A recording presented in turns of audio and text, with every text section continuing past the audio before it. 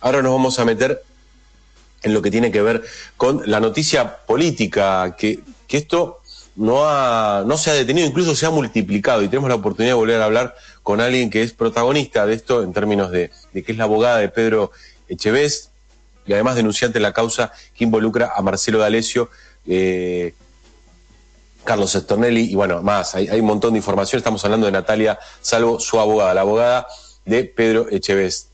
Natalia, te saluda Julián Saúd de la revista Amartia y Julián Andreu. ¿Cómo te va? Hola, ¿qué tal? ¿Cómo, cómo les va Julián y Julián? Buen día. Gracias por atendernos, Natalia, tanto tiempo. No, por favor, por favor. Bueno, yo estaba tratando de hacer un poco de memoria y de la última vez que hablamos se ha ampliado de manera impresionante la cantidad de pruebas. Por ahí no, eh, eso quiero que, lo hablemos, ¿no? En la causa específica que tiene que ver con D'Alessio, pero bueno, se sumó también la causa que tiene que ver eh, lo que pasa en Lomas de Zamora, que primero tenía Villena y ahora lo tiene el, juez Auger. Eh, ¿qué, qué con... Primero, eh, te, si te sorprendiste o vos ya tenías esa información, o, eh, digamos, cómo analizás ese, esa ampliación de, de, pruebas y después preguntarte, ¿hay conexión entre las dos causas? ¿Está, estamos, está probado, y ya me meto en, la entrevista, la relación entre D'Alessio y la AFI en términos de este grupo que espiaba no solo a Cristina, sino a Horacio Rodríguez Larreta, bueno, a la, a la hermana de Macri, digo, eh, to, todo, ese, todo ese entramado. Sí, es que justamente lo que está tratando de instalar eh, ahora el espacio político del macrismo y, sus disidencias internas es que había mucho cuentapropismo en lo que tenía que ver con el espionaje ilegal. Y justamente están tratando de, instalar esa esa concepción, porque lo que no hubo fue eh, eh, las aislados, sino una estructura dedicada al armado de causas del espionaje ilegal y la extorsión. Y esa estructura se hacía desde el Estado, eso era lo grave. Lo que se despuntó con la causa de Alesio eh, fue la primera organización criminal paraestatal que se sospechaba o se probó que había una articulación obscena con funcionarios judiciales, funcionarios políticos, fuerzas de seguridad, eh, al punto tal que, que bueno, había mm, un, una persona que participaba y que incluso ahora está detenido, un ex-AFI, estamos hablando de, de, Rolando Barreiro, que fue uno de los primeros que con la pretensión de presentarse como arrepentido, ya cuando se encontraba detenido y procesado por, por integrar esa asociación ilícita, eh, dijo cuál era la estructura, eh, eh, a quién reportaba D'Alessio, que todo lo que era espionaje político se lo reportaba a Carrió, todo lo que era espionaje judicial es Tornelli y todo lo que era narcotráfico a Patricia Bullrich, es decir, los lazos con el Estado ya se veían desde los dispositivos de D'Alessio que fueron peritados y cuya autenticidad de los mensajes ya no se puede eh, soslayar, también por supuesto con los medios de comunicación y como ciertos medios de comunicación que ahora siguen tratándose como si nada pasara, ¿no? De constituirse como los adalíes de la libertad de expresión, y me refiero a Clarín, me refiero a Santoro, pero fíjate cómo lo que hace esta nueva causa en Lomas de Zamora, es decir, eh, no es ya una organización paraestatal, sino era el mismo Estado que a través de sus estructuras, de la AFI, de la Policía de la Ciudad, de la bonaerense, de, de la Mesa Judicial, que es otra de las causas que se articula, como eh, el macrismo eh, tenía una, una política, si se quiere, de gobierno, ¿no? Utilizar el espionaje ilegal. Esto se despunta todo por, por un...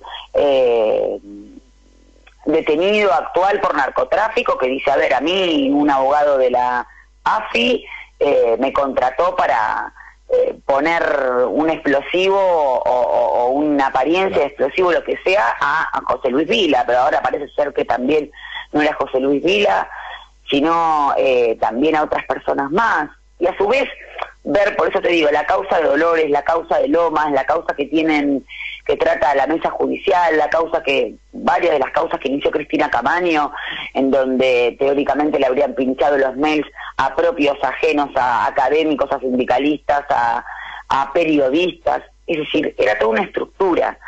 Y fíjate que ahora lo que pasa en la causa de Lomas es que lo que están intentando desde las altas esferas hacer una especie de torniquete, ¿no?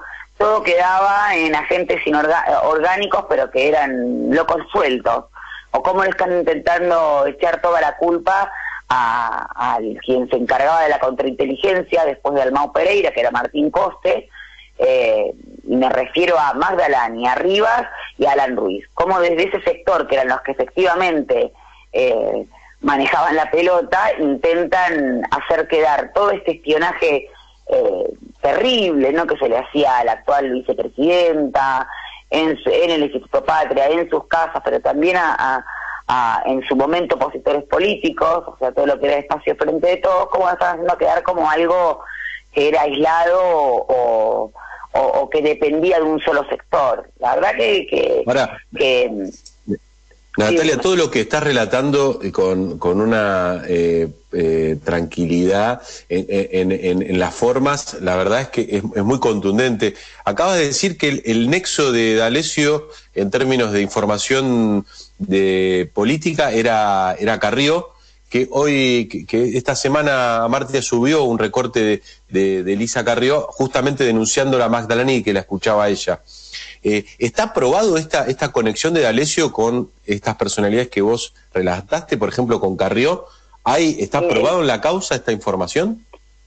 Mira, lo que lo que hay en la causa de Alessio, y sabés que, que está procesado el fiscal Lione, que es el fiscal que entendió la causa del triple crimen, eh, ¿Por qué te lo menciono? Porque D'Alessio le decía a Bidone, ¿no? el pedido de Carrió, que era que se quería que involucre a Aníbal Fernández en esta causa. Cuando se habla de, de intentar desvirtuar la opinión pública a través del espionaje ilegal, que está prohibido por la ley de inteligencia, es este tipo de cosas que pedía, por ejemplo, Carrió. Pero además, este, que Carrió, ¿cuál es la situación personal de Carrió en la causa de Alessio? Bueno, lo que hizo el juez es hacerle saber que se le imputaban estos determinados delitos. Carrió se presentó, por supuesto, los negó, pero no fue citada ni indagatoria, ni testimonial, ni nada aún. Pero lo cierto es que surge esa vinculación, pero además no solamente esta vinculación, hablando específicamente de Carrió, también hubo una causa que ahora pasó acá al ámbito de la capital federal, no recuerdo quién la tiene, pero que tenía que ver con cómo Carrió presionaba a través de las FIP, ¿no? Averiguando cuáles eran las deudas impositivas, todas cuestiones secretas, a este, opositores políticos, también integrantes del espacio del, del Partido Justicialista, o sea, eh, cuando nosotros decíamos que se utilizaban todas las, eh, las estructuras o los organismos o las dependencias del Estado era porque se utilizaba la FIP para ver qué tipo de deudas había, a la, a la UIF, ¿no? A unidad de, información financiera que duplicaba causas penales, ¿sí?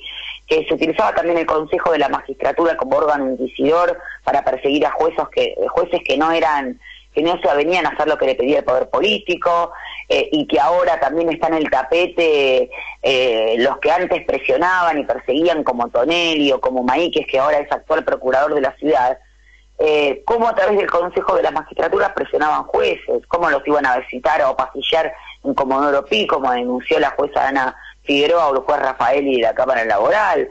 O sea, eh, cual, todo el Estado, eso es lo grave, todo el Estado fue cooptado para el espionaje ilegal. Y el espionaje ilegal no es que no tiene causa y tampoco tiene finalidad. ¿Para qué lo hacían? Más allá de que en sí esa conducta es ilegal. Bueno, lo hacían para poder implementar una política de hambre, o una política de precarización de derechos como se prueba con el espionaje ilegal a Pablo Moyano, integrante del movimiento obrero. Es decir, ese, espionaje era concomitante, pero en el mismo momento contemporáneo a cuando se quería instalar la reforma laboral, estamos hablando de octubre del 2017, a la brasilera, ¿no? que ya la habían implementado unos meses atrás en Brasil. ¿para qué lo hacían? Para eso, sí. ¿Cómo andas, Julián? ¿Cómo está Julián? Muy bien, ¿cómo está ahora la causa esta que estamos hablando de D'Alessio que lleva Ramos Padilla? Tengo el dato que en cualquier momento sale el dictamen del, juez, se está esperando eso. mira, eh, en este caso está esperándose, se está esperando para elevar a juicio oral parcialmente, porque digo parcialmente, esto también es importante, porque no está incluido en esa elevación eh, los procesamientos de Stornell y Santoro que todavía no se encuentran firmen porque están apelados y tienen que resolver la Cámara Federal de Mar del Plata.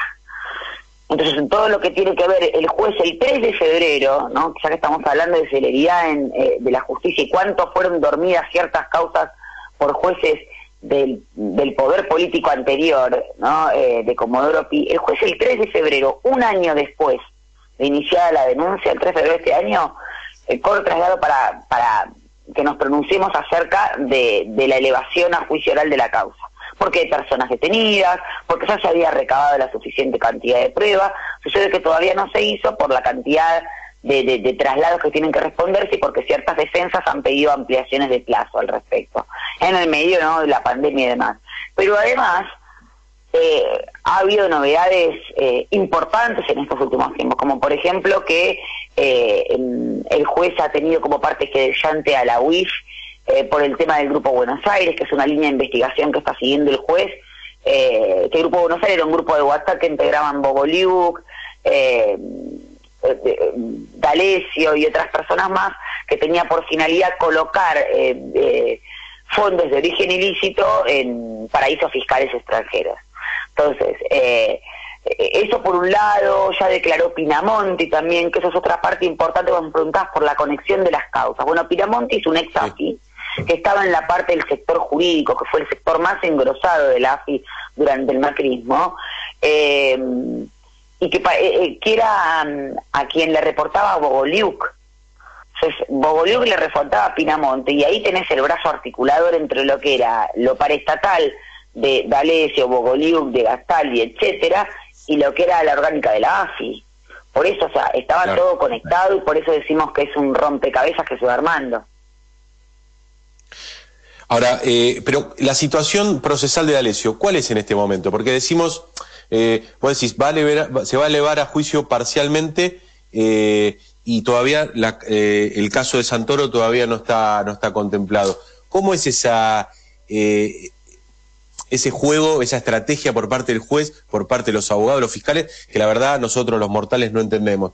Explicanos esto, digo, D'Alessio, ¿en qué situación está? D'Alessio está procesado por varios delitos. De hecho, ustedes saben que, que la declaración indagatoria es la principal arma de defensa, es donde el imputado ejerce su derecho de defensa. Bueno, las sucesivas ampliaciones de indagatorias porque se han ido encontrando otros delitos o otros planes delictivos en donde D'Alessio estaba incluido, por eso se le iba pidiendo ampliación en relación a nuevos delitos. Pero D'Alessio está procesado eh, y por eso se va a elevar a, a juicio oral también, ¿no? Confirmados esos procesamientos por eh, asociación ilícita, eh, incumplimiento de la ley de inteligencia, coacción, extorsión, es decir, hay una serie de delitos por los cuales está procesado. Recuerdo que el procesamiento, hasta que no se estén agotadas todas, o hasta que no haya una sentencia firme, cosa que aún no hay, eh, no se revierte el principio de inocencia. ¿Por qué está detenido D'Alessio? Y porque se dan los recaudos que establece el Código Procesal en cuanto a que podía entorpecer la investigación o podía evadir la actuación de la justicia. Ahora, ¿y Stornelli? Eh, porque Stornelli sigue siendo fiscal y era el socio, digamos, de alguna manera, en el accionar de, de, D'Alessio, lo pudimos ver en, las filmaciones que hizo públicas Echeves, donde los dos eran parte de la misma, la misma lógica, que sigue siendo fiscal, por cierto, Stornelli. Sí, Claro, eh, eh, ahí volvemos a lo mismo y me parece muy importante sobre todo resaltarlo en estos momentos, donde cada vez se va desdibujando más eh, el, el, rol de la ley, o lo quieren desde ciertos sectores desdibujar. Estornelli todavía no tiene una sentencia firme, con lo cual le rige el principio de inocencia. Ahora, el jefe de los fiscales, el procurador interino Casal, que bien se encargó de perseguir, por ejemplo, a la fiscal Aboquín y al fiscal eh, Juan Pedro Soni por el tema del correo, ¿no? Protegiendo a Macri. Lo único que hizo en su carácter de jefe de los fiscales, ¿no? Es el jefe de los fiscales. Es hacerle un leve apercibimiento por ocho meses de rebeldía en una causa. Todavía no se ha sancionado en el caso de que se confirme el procesamiento de Stornelli eh, que haya participado en todos los siete, más de siete hechos que se le imputan, eh, de, haber participado en el espionaje ilegal a, Castañón, que es la expareja de su actual pareja, el tema de Bruce Adobat, el tema de Pedro Echeves, Ubeira, es decir, todos los hechos que se le imputan a Stornelli, por los cuales fue procesado, todavía le rige el principio de inocencia. Lo que digo es que es llamativo, es que, por ejemplo, el fiscal eh, Virone sí está suspendido por procurador de la provincia de Buenos Aires, que tampoco es santo de mi devoción, porque también está sospechado de haber este, mandado a perseguir al juez Carzole por el tema de los Moyanos, pero digo, está suspendido y apartado. En este caso, lo que se recrimina es cómo puede ser Casal, que siendo procurador interino, eh, pero jefe de los fiscales, después de siete u ocho meses y llamativamente antes de que empiece a evaluarse su conducta por la Comisión Bicameral del Ministerio Público Fiscal, le hace un chascas en la colita a Stornelli dándole un apercibimiento, nada más. Y Natalia, hasta que no se eh, vaya a Casal, eso no se va a solucionar, ese es el tema. Hay un tema político. El tema es que, es que la ley del Ministerio Público Fiscal tiene las herramientas como para velar una conducta tan grave como la de Stornelli. Recordemos que lo que decía Stornelli, mientras Macri lo sentaba en los actos públicos al lado de Montoto, al lado de, de, bueno, de todos, este, del poder, para decirlo de algún modo, al lado de él, eh, decía que él, esa causa de Dolores, era una confabulación para voltear al fiscal de los cuadernos, un disparate o sea, evadía la función de la justicia como cualquier mortal diciendo eso. En ese momento es donde Casal tendría que haber tomado armas en el asunto. Para eso se habían jactado de tener una justicia independiente. Y en ese momento, después de siete llamados a indagatoria, el, procurador eh, no hizo absolutamente nada. Natalia, ¿cuál es la condición hoy de tu defendido de, de Chévez? Bueno, Pedro es el primer querellante, no es el único, hay más de una docena de querellantes y muchísimas líneas de investigación, es decir, esa causa se amplió por las pruebas existentes en los teléfonos de, y en los dispositivos electrónicos de D'Alessio, que fue la caja de Pandora, ¿no? Una vez que se abrieron, se empezaron a, ver la cantidad de investigación, pero ahora Pedro continúa fuera del país, la verdad que a veces puede resultar de difícil comprensión, pero después de un año para una persona que atravesó todo lo que atravesó Pedro Echeves, no es mucho como para eh, superar esta situación. Él ya venía con problemas de salud, que también desde los medios monopólicos decían que era mentira, y a veces vuelve a recaer en esos problemas de salud y lo afecta a la cuestión emocional. Esperemos que, si bien ya no se siente amedrentado, pueda regresar al país por, por sus cuestiones de salud cuanto antes. Para, para terminar, Natalia, y te agradecemos como siempre eh, la deferencia de poder atendernos unos minutos para, para poder hablar sobre este tema. Eh, quiero poder entender bien y, y, creo poder entender a la audiencia que está ahí escuchándote. La, en, este, en, este, en esta causa que lleva adelante Ramos Padilla, la, eh, más arriba que D'Alessio, ¿quién más va a ir a juicio? Digamos, Tornelli, que podría ir, Santoro, D'Alessio, y no va más para arriba en términos de quién es el que, el, en definitiva, el autor ideológico de este accionar de D'Alessio, quién financiaba a D'Alessio, quién le daba las órdenes, esto que contaste al principio, Patricia Burrich, Elisa Carrió, no sé, Marcos Peña, ¿quién, quién, eh, ¿quién va a hacerse cargo de, la autoría intelectual? Claro, financiamiento, el, tema es lo que hay, hay que ver esta situación. Esta causa se inicia por eh, la extorsión que le habían realizado a Pedro Echeves. Después se fue ampliando. Ahora, por eso digo, una cosa es una causa eh, cuyos materiales objetivos están dentro de ella, ¿no? Y con esto qué quiero decir, si de esta causa surge obviamente los lazos que podían existir con otros funcionarios como Patricia Bullrich, mencionan, bueno, el juez decidirá en función de las pruebas que hay en la causa y que sí los mencionan, qué tipo de responsabilidad les cabrá y si hay sospecha suficiente como para llamarlos a indagatoria. Ahora, lo interesante es que se van abriendo otras causas donde ya sí se ventilan otros hechos, eh, por eso digo que hay que ver material u objetivamente cuáles, hechos, son los hechos que se están debatiendo en cada causa y donde sí se van a juzgar, los, o deberían por lo menos juzgarse el accionar de aquellos que eran los autores ideológicos. O sea, no, lo que no se le puede pedir a un juez es que se pronuncie acerca de hechos que se están ventilando en otra causa.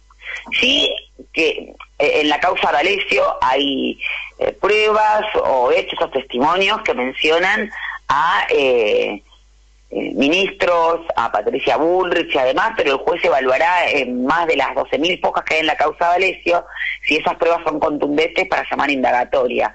cosa que sabemos que en el peor momento a este juez no le ha temblado el pulso de hacerlo, ¿no? Más allá de las presiones que ha tenido. Me refiero a Ramos Países, más allá de que ahora también los adheridos de la democracia hayan pedido para un juez en funciones que estaba investigando los lazos de poder un cajón.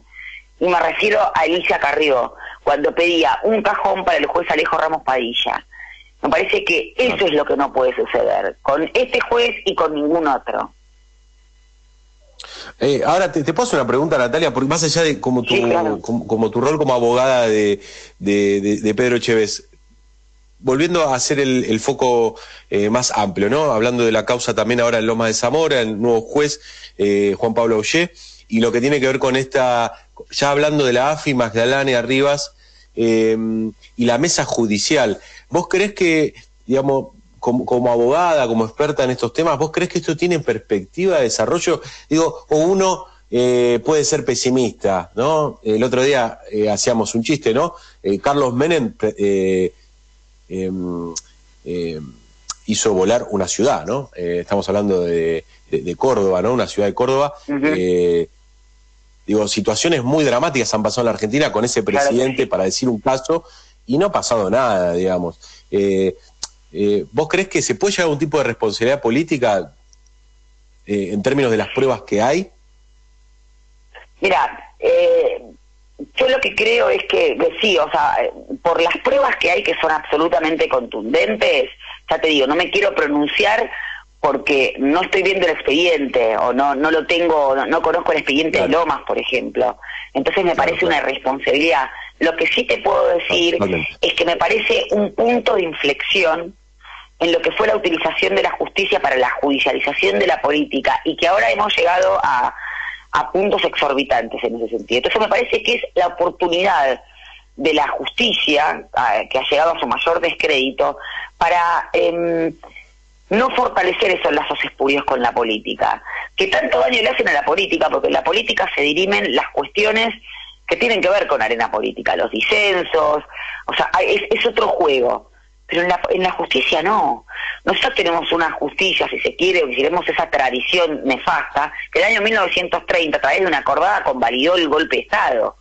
Tuvimos una justicia o tenemos, tenemos un poder judicial en donde tiene representantes que se pasean por la Facultad de Derecho y que han sido asesores de la Comisión de Asesoramiento Legislativo.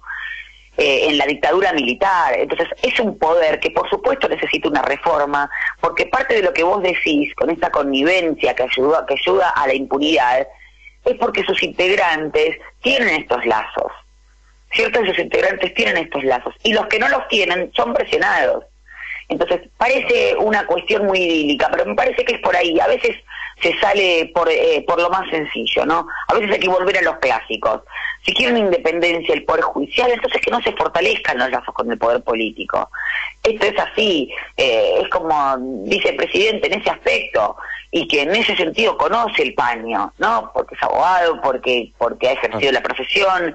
Eh, hay que sacar a la justicia, a la política de los tribunales, porque cuando entra la política se va la justicia y viceversa, cuando la justicia empieza a entronizarse, y esto pasa con la Corte, ¿no? a poderse con un poder que está en el podio respecto de los otros dos poderes, y que encima nadie lo plebiscita, entonces le das demasiado poder al Poder Judicial, un poder que no tiene, no tiene por qué tener, porque tiene que andar plebiscitando los actos políticos que son los que se plebiscitan a través de la ciudadanía cada dos años que realiza las elecciones o a través de los mecanismos institucionales que tiene como para manifestarse con respecto al poder político.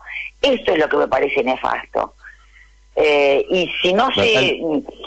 Sí. No, no, no, no, si, si no, por favor, no te quería cortar. No, es que, no, Natalia, muchas gracias. Muchas gracias, Natalia, por, por eh, darnos un poco de, del, contexto, ¿no? A veces con tantas noticias cruzadas uno ya no sabe dónde está parado. Pero para eso te llamamos y, ya nos ubicaste en tiempo y espacio. Un abrazo enorme, Natalia. Muchas gracias. Otro muy grande para ustedes. Era Natalia Salvo, abogada de Pedro Echevés, denunciante en la causa que involucra a Marcelo D'Alessio, Carlos Estorelli y más, mucho, mucho más.